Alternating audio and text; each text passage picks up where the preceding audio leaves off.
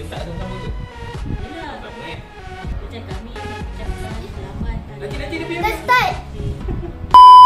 kami mengucapkan selamat hari raya Aidilfitri. Maaf zahir dan batin.